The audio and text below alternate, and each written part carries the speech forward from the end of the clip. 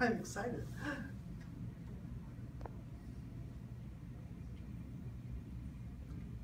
Wow, Oh, look at that. That is, that's even hundred percent better than it was Oh when we my saw it the last time. You That's amazing. Push it up a little bit, honey, I'm still getting the glare on. Yeah, it's maybe just like. There you go, there you go, there you go. Uh-huh. Oh, wow, look Yeah, at that. absolutely.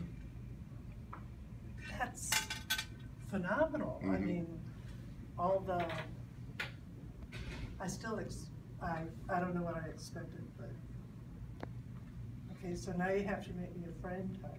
I know. You know, it's like we said last time, you know, it was, it was so dark and dirty before that you did, you know, and I never really looked at the painting that, that much, but to come and look at it now and see the, the amount of detail that's in it that we couldn't see before because it was so obscured under the, the dirt. Yeah. You So- know, And and even the crack, even the, and, you know, with that backing, the crack will look so much flatter. This is, I mean, before it was so, You know, it's so much smoother and flatter than it was before with that new backing on it. and all the detail has come out in the, in the, in these. In the front, yeah, in the front, Mhm. oh, just like in the, in the- in the bushes and the trees. So it's a, no, it's a nice English piece.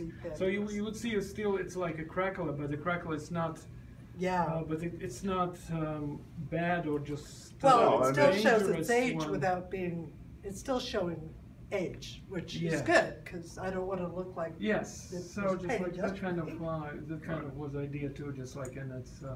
not- Even the Mona Lisa has crackle. Yes, sure. Yeah, it's good, it's absolutely right. Wow.